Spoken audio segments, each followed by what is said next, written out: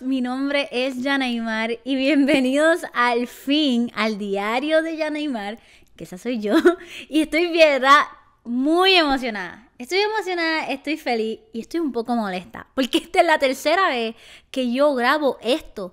Ya la primera vez se cortó la cámara, después el micrófono, no sé qué pasó, que estaba grabando, pero creo que apreté algo que no era y dejó de grabar. La segunda vez dije, bueno, voy a seguir, no voy a dejar que nada me detenga. Y literalmente cuando estoy a mitad del, episodio, la cámara se puso así como que no tenía batería. Así que dije, está bien, no hay problema. Voy a tomarlo con calma, no me voy a presionar. Puse a cargar la cámara y dije, no voy a dejar que esto me detenga. Puse a cargar la cámara, me fui a comer chipotle con mi esposo y ahora ya regresé ya está todo listo y hoy sí, ya al fin vamos a grabar esto.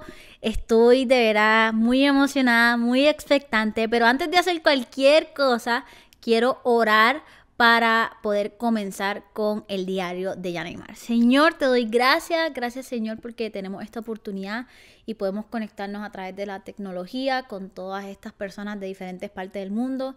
Gracias Señor porque tenemos la oportunidad de poder hacer esto. Te pido Padre que esto puede ser un espacio en donde a través de la vulnerabilidad, a través de historias, de experiencias, de victorias, de derrotas, Señor, tú puedas hablar a nuestras vidas y podamos conectarnos y podamos acercarnos más a ti, Señor. Háblanos, que seas tú el que nos hables aquí, Señor, a través de todo lo que vamos a estar compartiendo y que este espacio eh, y este sueño que tú has puesto en mi corazón realmente pueda ser de mucha bendición para personas de todas partes del mundo. Amén. Bueno, ¿Qué es el diario de Yanimar? ¿Qué es esto? Em, esto es un sueño que... Ok, mi computadora, déjenme bajar. Se me olvidó, perdón. Em, esto es un sueño que nace de mi corazón y creo que del corazón de Dios. Y puedo decir que Dios lo puso en mi corazón hace como más de un año. Pero em, si le soy honesta, como que por diferentes razones no, no lo hacía me daba miedo, muchas cosas. Y de hecho, yo me mudé a Texas en julio del 2023. Y antes de mudarme a Texas, yo grabé dos episodios del diario de Yanaimar en casa de unos amigos y ya no lo publiqué. No sé, no me, no me daba paz. Y, y también, ok, grabé dos episodios en casa de esos amigos y después, cuando fuimos a Puerto Rico con mi esposo, grabamos dos episodios más que se supone que fueran parte del diario de Yanaimar y ya nunca los publiqué. Ni los edité, no hice nada. Y es que creo que eran, creo que eran dos cosas. Uno, no sentía como que paz al publicarlo. Eh, no sentía, no sé, no, no sentía que era el tiempo. Eh, no sé si era el Señor diciéndome que no era el momento. No, no sé, no sentía que era como que el momento para hacer eso. Y segundo, obviamente, pues yo tenía miedo. A mí yo siento que eh, a mí me gusta y me, y me empujo a ser vulnerable en las redes sociales, pero obviamente eso siempre viene con un miedo. Cuando uno comparte algo que nadie, que la gente no conoce de ti, pues uno se va a sentir, pues esa como que ese temor de que qué va a decir la gente, o será que la gente le va a gustar, y creo que yo sentía eso mucho. Em, y, más que nada yo decía, Señor, esto y me lo cuestiono con todo en mi vida, pero me lo cuestionaba con eso y decía como que, Señor, ¿será que esto es lo que tú quieres que yo haga? Eh, yo soy una persona que no, nunca quisiera hacer algo que esté fuera de lo que Dios quiere para mí. Entonces yo decía, Señor, y me cuestionaba, y yo soy una persona que sobrepienso todo, y lo sobrepensaba, y yo decía, Señor, no sé qué hacer, no sentía paz, no sentía nada de eso, y así que no lo publiqué, pero mm, es un sueño que Dios puso en mi corazón. Lo que yo quiero es que esto sea un espacio en donde em, podamos ser vulnerables, podamos eh, hablar, eh, podamos conectar. Quisiera que ustedes que están viendo esto entendieran eh, con lo que yo voy a hablar que ustedes no están solos, que mm, hay otras personas que están pasando por cosas, que están en esta tierra simplemente intentando cumplir el propósito de Dios para sus vidas. Y mm, más que nada, yo lo que quisiera es que fuera, número uno, un espacio natural. Yo no sé ustedes, pero yo en lo personal, y no es tirándole hate a nadie, o sea, porque yo he sido bendecida por videos así, pero yo, yo recibo mucho contenido. Yo estoy en el teléfono todo el tiempo y eso es algo que tengo que arreglar, pero yo estoy cansada y mi mente ya no procesa contenido que es súper extremadamente producido. Es como que no, no conecto con eso. Ya estoy cansada de ver estos videos que son con scripts, que se nota que eso no, eso no son ellos. Y como que ya lo que mi corazón está anhelando y buscando es contenido natural, vulnerable, en donde yo pueda conectar realmente con la persona. Entonces, eso es lo que yo quiero que sea este espacio. Algo que no tenga mucha planificación, en el sentido de que yo tengo aquí en mi computadora algunos puntos de lo que les quiero hablar, pero no mayor cosa, quiero que sea algo que realmente podamos fluir, hablar, conectar. Y también lo que me gustaría es que yo sé que a lo mejor tú y yo no somos la misma persona, ni pasamos por las mismas cosas, ni a lo mejor no vivimos ni en el mismo contexto de vida, en el mismo país y todo eso, pero yo si algo estoy segura es que Dios utiliza nuestras vidas como un testimonio y como una manera para predicar el Evangelio y para hablar de Él. Y si mi vida, mis experiencias, aunque no sean las mismas que las tuyas, si mi vida y mis experiencias pueden ser de bendición para ti, para mí eso es lo más increíble que puede suceder.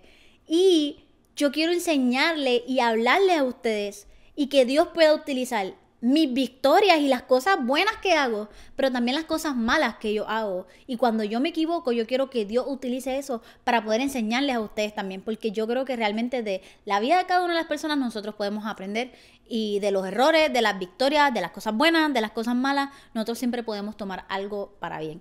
Y eso es lo que yo quiero que sea el diario de Animal. La idea es que eh, podamos conectar aquí a través de estos videos. A veces van a ser blogs, a veces van a ser videos así sentado hablando. Tengo varias ideas y tengo varias cosas que Dios ha puesto en mi corazón y estoy emocionada para donde esto, esto, where this is gonna go.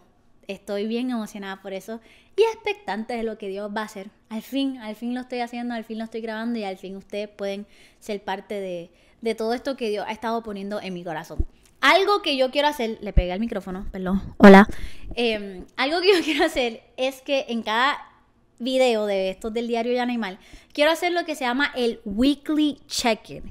Y es que les quiero hablar de las pequeñas, al principio de cada video quiero hablarles de pequeñas cositas, pequeñas victorias que tuve en mi semana, porque siento que Muchos de nosotros solo nos, enfocamos en las cosas así grandes que Dios hace en nuestras vidas y no le prestamos atención a las cosas pequeñitas que Dios hace a diario y esas pequeñas victorias, esas pequeñas bendiciones que Él hace en nuestras vidas. Así que yo quiero poder contarles al principio de cada episodio mis pequeñas victorias de la semana y yo quiero que ustedes me envíen sus pequeñas victorias.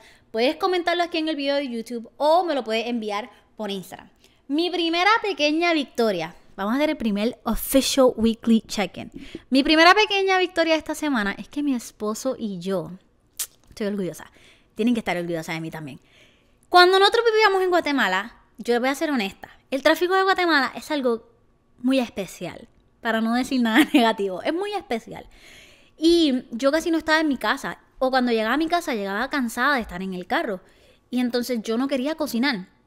No me motivaba a cocinar eh, también era algo que trataba ciertas recetas, no me salían, me frustraba, ya nunca quise hacerlo. Más que aproveché la excusa del tráfico y todo eso para hacerlo. Y entonces nunca comíamos en la casa. De ahí me mudo a Texas y como que me quedé con esa mala costumbre de no cocinar y hemos estado comiendo todos estos meses afuera, la mayoría del tiempo. Y esta semana yo dije, ¿sabes qué? No, me voy a comprometer, voy a comprar los ingredientes y me voy a obligar a cocinar en la casa y voy a conquistar esos desafíos. ¿Qué desafíos tenía yo en la cocina? Algo era el pollo. Nunca supe aprender, o sea, nunca me salía cocinar el pollo y la carne, especialmente la carne. No sé, nunca aprendí, nunca me salió. Pero esta semana, mira, yo me voy a dar un aplauso. Esta semana me salió el pollo, me salió la carne, todo. Estuvimos comiendo todos los días. Creo que hoy fue el primer día que comimos afuera porque ya mañana eh, nos vamos a ir de viaje y entonces pues no quería ensuciar la cocina porque siempre me gusta dejar nuestro hogar limpio antes de irnos de viaje. Pero fuera de eso, toda esta semana comimos en la casa y me he sentido muy bien conmigo misma por eso. La otra pequeña victoria que la verdad es tontita, pero se la voy a compartir, es que me hice la uña y eso me gusta. Es que ya yo la uña me las estoy haciendo en mi casa porque ya no quiero ir a un salón de belleza por uñas y todo eso. Eh, mucho tiempo, la verdad. Y creo que también mucho dinero y mejor me he disfrutado aprenderme a hacerme en la casa. Así que me hice mis uñas nuevas en la casa, tienen corazoncitos violetas y eso es una pequeña victoria para mí también. Y eso me emociona mucho. Esas creo que, creo que esas son mis pequeñas victorias de esta semana. Em, sí, esas, esas dos son mis pequeñas victorias de esta semana. Así que déjenme saber cuáles son sus pequeñas victorias en los comentarios o también me lo pueden enviar por Instagram. Y algo que les quiero compartir hoy es de el miedo. ¿Por qué? Porque el miedo, eh, regresando a, la razón por la cual yo no quería hacer el diario de Yana Mal, mayormente era por el miedo. Y si yo les voy a ser bien honesta, y eso es lo que quiero, em, yo soy una persona que tengo muchos miedos. Y siento que mis miedos no son así como, ay, le tengo miedo a los cucarachas, no le, ah, le tengo miedo a, a las culebras. No, mis miedos son creo que unos un poquito diferentes, pero son miedos como que de día, de la vida, del propósito, de cosas así. Y yo soy una persona que cada día tengo que luchar en contra de mis miedos. Todos los días yo me tengo que levantar y pedirle al Señor eh, no tan solo de mis miedos, pero de mis pensamientos. Todos los días yo me tengo que levantar y decirle, Señor, por favor, renueva mi mente, llena mi cabeza de buenos pensamientos, pensamientos de bien, no de mal, que cada pensamiento que tenga en mi cabeza venga de ti. O sea, yo soy una persona que constantemente esto es algo que yo tengo que luchar y es algo que yo tengo que sobrepasar. Desde que yo soy pequeña, mis papás me han enseñado a no tener miedo. De hecho, eh, una de las cosas que yo recuerdo de pequeña, es una memoria que yo tengo, es que nosotros nos habíamos ido en un crucero. Creo que era Alaska, pero no sé. Nos fuimos de crucero y una de las excursiones era ir de ziplining. Y entonces mi papá en ese momento decidió darle la oportunidad a mi mamá de ir conmigo y con mi hermana mayor, Joaniri, y él se quedó en el crucero con mi hermana. Yo no sé si Jennifer bueno, Jenny fijo estaba, había nacido, yo no sé si Gillian, que es la más pequeña, pero mi papá se quedó en el crucero para cuidar a mis hermanas y mandó a mi mamá con nosotras al zipline. Y yo me acuerdo que estábamos haciendo el zipline y era, era la primera como tiradita, el zipline es de un árbol a otro. Y me acuerdo que yo me tiré, mi hermana se tiró, a mí me encantan esas cosas, eso sí, yo no tengo miedo, yo me tiro. Y entonces mi mamá estaba, yo, eh, mi mamá era la última, ella estaba con el trabajador de la empresa de Zipline. Y de la nada, yo veo que mi mamá no se tira. No se tira, no se tira, no se tira. Y yo así como que, mi mamá tiene miedo. Yo se lo vi en el rostro que mi mamá tenía miedo de tirarse de ese zipline. Y yo me quedé así como que, bueno, o sea, yo no sé qué va a pasar. Lo más probable vamos a tener que bajarnos o yo seguir con mi hermana y ella pues esperarnos. Y de la nada le tomó un tiempito. No fue que lo resolvió en un minuto. Pero unos 5 o 10 minutos después, el muchacho le decía, no, si tú quieres yo te bajo. Y mi mamá le decía, no, es que yo voy a tirarme y yo lo voy a hacer. Y yo vi como mi mamá, literalmente, ella se predicó a ella misma y ella, su rostro cambió, ella se concentró y ella se tiró e hizo el zipline. Y eso es una memoria que yo tengo porque mis papás de pequeña, ellos nos impulsaron y nos decían, ustedes no pueden tener miedo. Y si mis papás veían que nosotras teníamos algún miedo, ellos hacían todo lo posible para que nosotras sobrepasáramos esos miedos. Sin embargo, yo sé que el día, todavía el día de hoy yo lucho con eso, yo lucho con mis miedos. Em, y yo he visto lo hermoso que es poder sobrepasar los miedos, poder conquistarlos y poder lograr cosas que tú jamás te habías imaginado o cosas que tú siempre has querido hacer pero por el miedo no había hecho. Y la verdad es que yo sé que todos nosotros pasamos por miedo y tenemos miedo en nuestras vidas. A lo mejor tú sí tienes algunos miedos como a ah, las cucarachas o la oscuridad, o a lo mejor tú tienes miedo a morir, a lo mejor tú tienes miedo a no cumplir el propósito que Dios tiene en tu vida. Yo sé que esos son, es, ese en particular es uno de los miedos más grandes de mi vida. Y es que por algo mío o algo, algo como yo, o sea, yo digo, Señor, uno de mis mayores miedos es no poder cumplir lo que tú me has llamado a hacer. Y uno de mis mayores miedos es yo intentar y que pasen unos 20, 30 años y que yo me di cuenta que yo no sea la persona que Dios me creó para ser. Y que yo haya querido hacer otra persona o que haya querido perseguir el sueño de otro. Esos son uno de mis mayores miedos, la verdad, si les soy honesta. Pero les quiero leer algo. Esta es mi Biblia. Amo mi Biblia. Eh, uno de mis goals para el 2024 es leer la Biblia completa. Lo sé, tengo 25 años. he sido cristiana toda mi vida y todavía no he leído la Biblia completa, lo prometo que es una de mis metas. Eh, realmente yo me paso entre el Antiguo y el Nuevo Testamento, como que voy leyendo, no es que estoy leyendo en un orden en particular, voy de un lado para el otro. Eh, acabo de terminar de leer 2 Corintios. No, leí 1 Corintios, ahora voy por 2 Corintios. Y, pero vamos a ir a Éxodo, no sé por qué lo mencioné, pero vamos a ir a Éxodo. Y yo les quiero leer algo aquí que, que encontré en estos días y es en Éxodo 3. El título de este capítulo es Moisés y la salsa ardiente. Pero vamos a darle para abajo porque hay un momento en particular en donde yo quiero eh, enfocarnos en este momento. Y es donde yo lo leí y yo dije, bro, Moisés, yo me identifico contigo. Somos, mira, literal iguales ahí. Viene y dice, cuando el Señor vio, esto es el 4, el versículo 4, cuando el Señor vio que Moisés se acercaba por observar mejor, Dios lo llamó desde el medio de la zarza. Moisés, Moisés, aquí estoy, respondió él. No te, no te acerques más, le advirtió el Señor. Quítate las sandalias porque estás pisando tierra santa. Yo soy el Dios de tu padre, el Dios de Abraham, el Dios de Isaac y el Dios de Jacob. Cuando Moisés oyó esto, se cubrió el rostro porque tenía miedo de mirar a Dios. Luego el Señor le dijo, ciertamente he visto la opresión que sufre mi pueblo en Egipto. He oído sus gritos de angustia a causa de la crueldad de sus capataz. ¿Capataces es que se dice? Sí, capataces. Perdón, mi gente, yo estoy aprendiendo a leer. estoy al tanto de sus sufrimientos, por eso he descendido para rescatarlos del poder de los egipcios sacarlos de Egipto y llevarlos a una nueva una tierra fértil y espaciosa. Es una tierra donde fluye la leche y miel, la tierra donde actualmente habitan los cananeos. De ahí se mira, el clamor de los israelitas me ha llegado y he visto con cuánta crueldad abusan de ellos los egipcios. Ahora ve, porque te envío al faraón, tú vas a sacar de Egipto a mi pueblo. Pero en el versículo 11, que es donde quiero enfatizar, Moisés protestó y dice, ¿quién soy yo para presentarme ante el faraón? ¿Quién soy yo para sacar de Egipto al pueblo de Israel?